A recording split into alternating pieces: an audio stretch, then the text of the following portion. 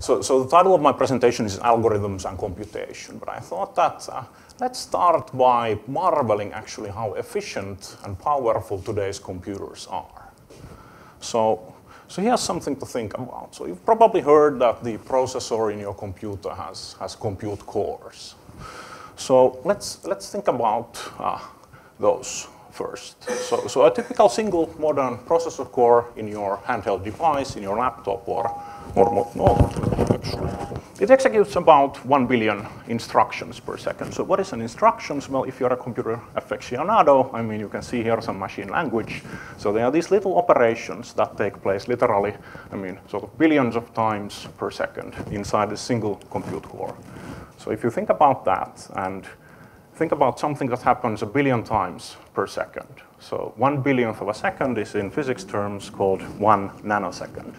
So in one nanosecond, actually, if you operate at the speed of light, so the distance that you travel is 30 centimeters. So think about that. So this is the time, for example, to execute. I mean, we add, let's say, the integer 8 here to a single processor register. And it happens in, in that short amount of time.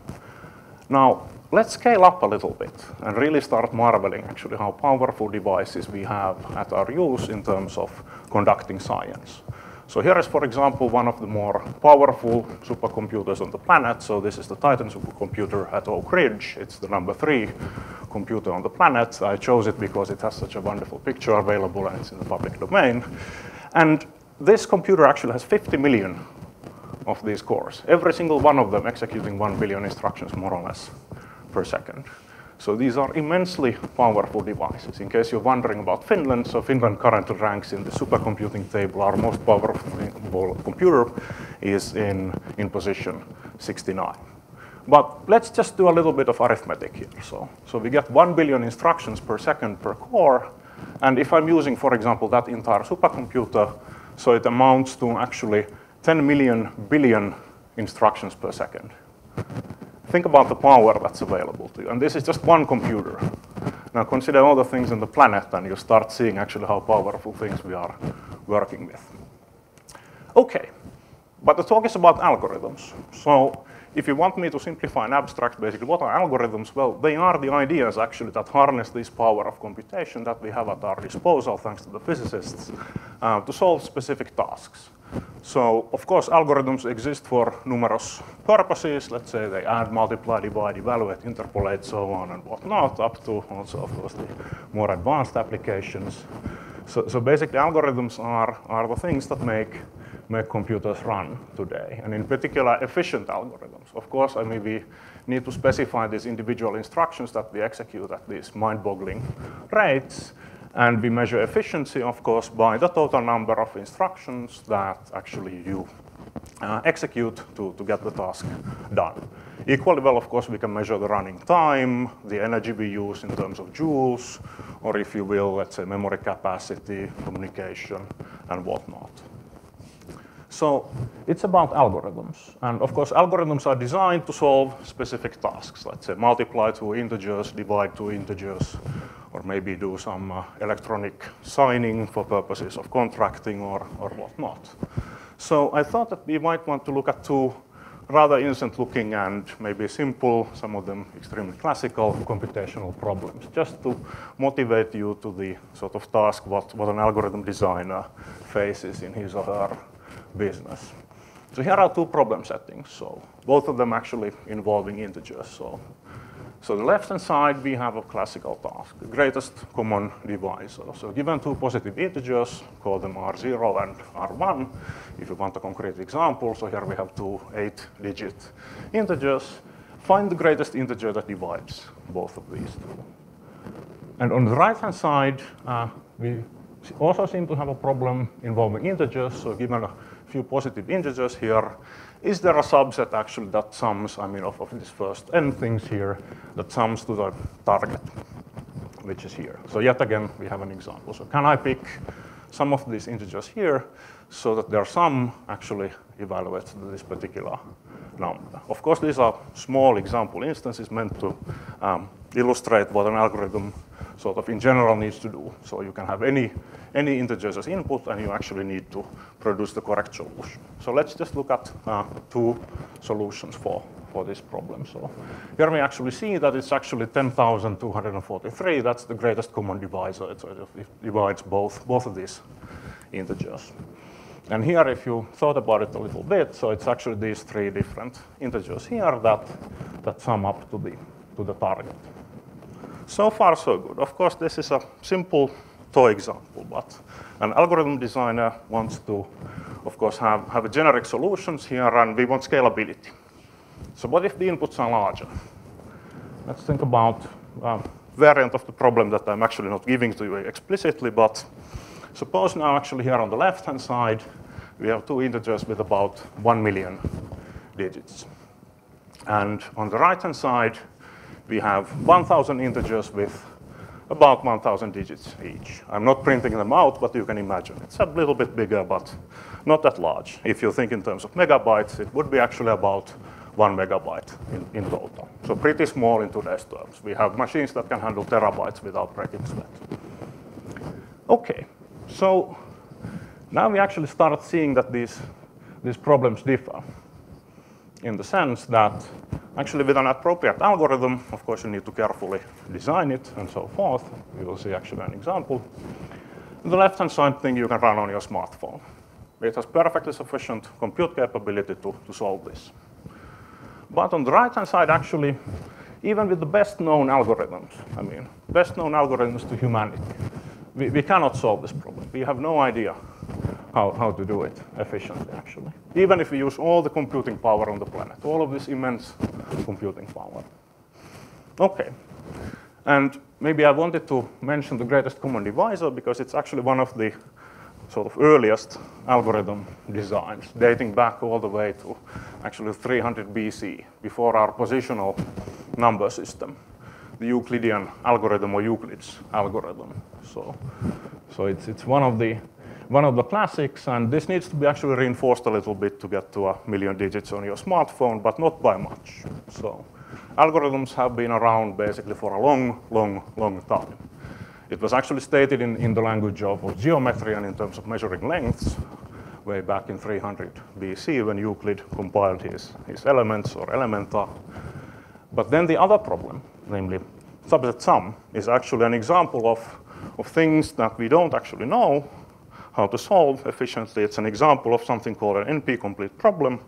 That's actually a sort of case of, of this more general setup that is actually one of the deepest problems currently in, in all, of, all of science, in the sense that uh, uh, we would like to know whether actually all computational problems that have efficiently verifiable, verifiable solutions um, also have efficiently computable solutions.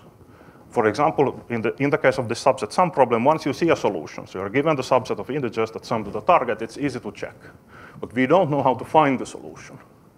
And it's, it's not known. And, and actually solving any one of these individual NP-complete problems, the subset sum problem that I showed to you being one of the examples of problems in this class, uh, would suffice.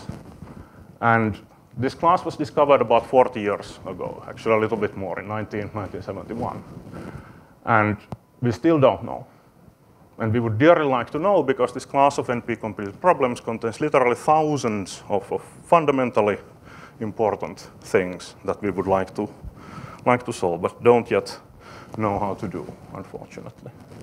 Okay, so, so why study algorithms and computation? So of course, I mean, efficient algorithms sort of enable the modern world. And of course, the world of the future, so we want increasingly efficient algorithms.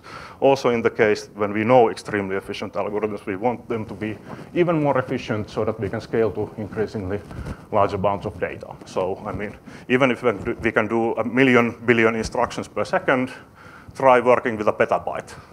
And of course, then things start getting more more challenging and you need increasingly efficient solutions. Also, we would like to, of course, understand computational intractability in terms of NP completeness. And also, unfortunately, one thing that I would also like to mention is the approaching physical limits of, of computer microarchitecture. So if you think about it, at, at, the clock rate, I mean, that we currently have, light moves is about uh, 30 centimeters at most. So you cannot necessarily increase clock speeds anymore and, and you have to resort to extra parallelism. So you need new mathematical ideas and architecture adaptable algorithms are essentially I mean, pretty soon, probably the, the only way, way to scale up. So research into algorithms is extremely important. So, so what I'm doing at, at Aalto Computer Science, so at the combinatorial algorithms group, so we basically develop theory, mathematics for design and analysis of algorithms, and also we do some algorithm engineering, so literally low-level implementations that take out uh, most of the performance of the, of the machine that you can, can have.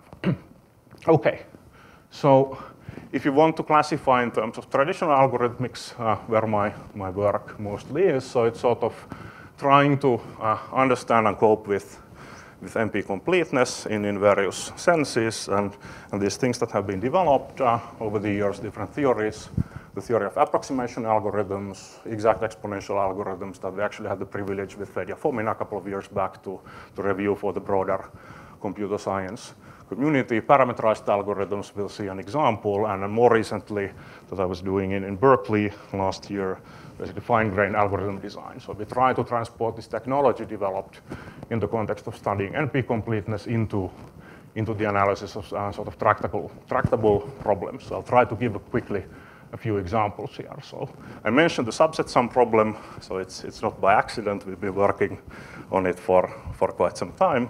Unfortunately, it's a little bit of a challenge. The record algorithm is from 1974, and it hasn't been, I mean, improved since then in terms of worst case performance.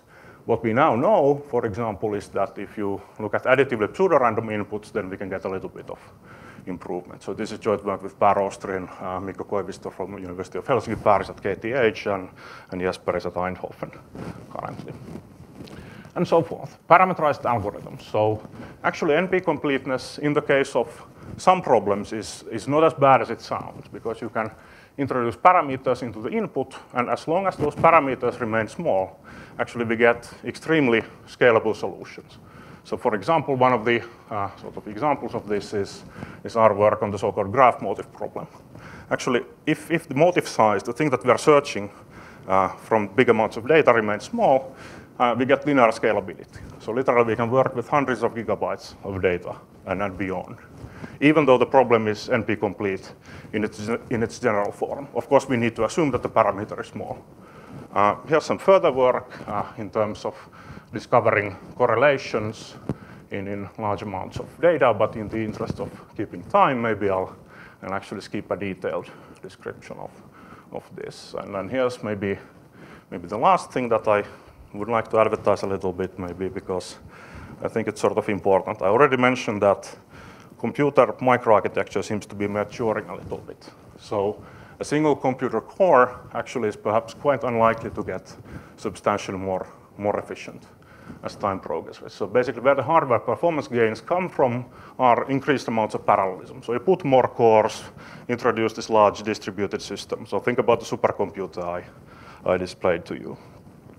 So this of course means that you start having extensive physical setups. And once somehow physics start and start substantially entering the picture, so actually you get errors into the computation. So then you need to design algorithms that cope with errors and also produce correctness proofs. That basically the computation was, was correctly executed and these proofs need to be easily checked. And actually to connect to the Euclidean algorithm that I, I talked to you about, I mean, introduced a couple of thousand years back. So some of the mathematical ideas underlying the Euclidean algorithm are also actually present in this work in terms of how we correct the errors. Instead of working with integers, we work with polynomials, but, but nevertheless, so, so we are using so-called fast Reed-Solomon decoders, but the best known algorithms currently are, are actually based on, on the Euclidean algorithm, and so forth. So let me quickly start concluding. So why study algorithms on computation? So I sort of gave you a few few ideas. So they, of course, are to a large extent enablers of, of, of the modern world. We want to get scalability to, I don't know, petabytes of, of data or, or beyond. We want to understand this phenomenon of intractability. We want to understand the NP completeness and NP complete problems. And also in terms of we need to start tailoring our algorithm designs more and more into this emerging parallel and, and some architecture adaptable world. So, so maybe to to conclude, I would like to give you a picture of, of Berkeley Hills. Basically, I spent, I mean, this is, is taken about one year ago. Uh, And I frequently, when I was at the Simons Institute for the Theory of Computing, wanted to go up the hill and sort of see the perspectives and uh, think about algorithm design and so forth. And I, I was giving you a pessimistic picture in terms of computer architecture evolution. But, but then again, we shouldn't necessarily, at least as of yet, be that, that pessimistic because actually just last week uh, in a lab down the hill here, uh, they introduced a one nanometer transistor, which is, uh, I think, about at least 10 times smaller than, than they currently have uh, manufacture, in manufacture at Intel. So, so maybe we still ride this exponential growth curve in terms of computing performance for a couple of years. But in case we don't, then algorithm designers need to come, come to rescue. Thanks.